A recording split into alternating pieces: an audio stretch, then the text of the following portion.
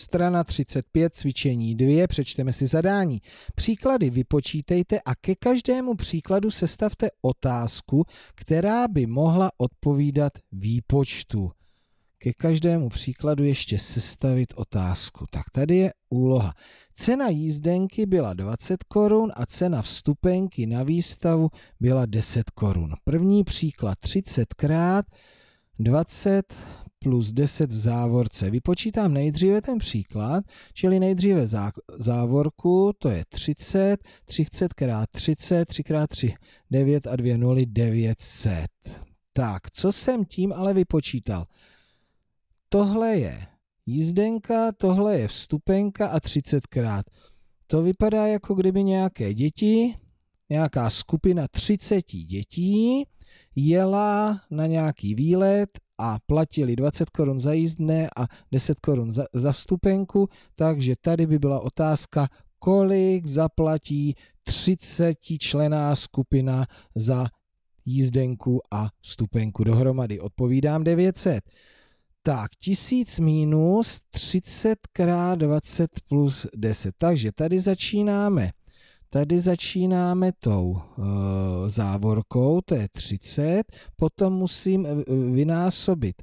Potom jdu násobit, takže 1000 minus to násobení 900 rovná se 100. A teďka ta otázka, napadá vás něco?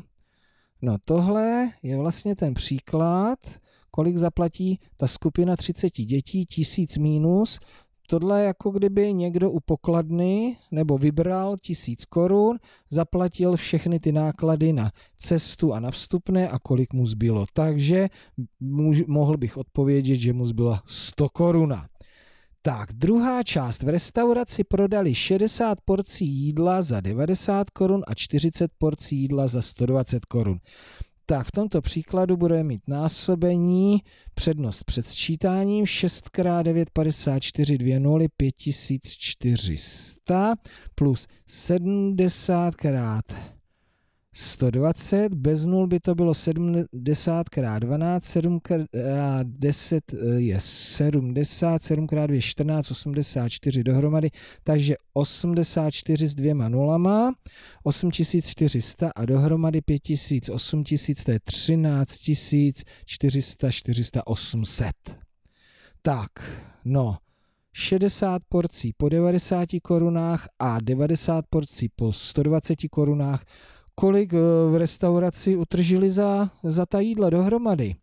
Tak a teď se podíváme a tady je 70 x 120 minus 60 x 90, takže s tím už se dvakrát moc nebudu počítat. 70 x 120 to bylo 8400 minus 5400, takže rozdíl je 3000. No a to by, na co bych se mohl zeptat? Jo, Tady bych se mohl zeptat na to, o kolik eh, utržili za to jídlo, za, za tady, za tohleto jídlo za 120 korun, více než za to jídlo za 90 korun. To bychom se dozvěděli o 3000. Tak, pojďme se podívat na řešení. Řešení máme správně. No a vy klidně můžete ty otázky formulovat trošku jinak nebo vymyslet ještě něco jiného.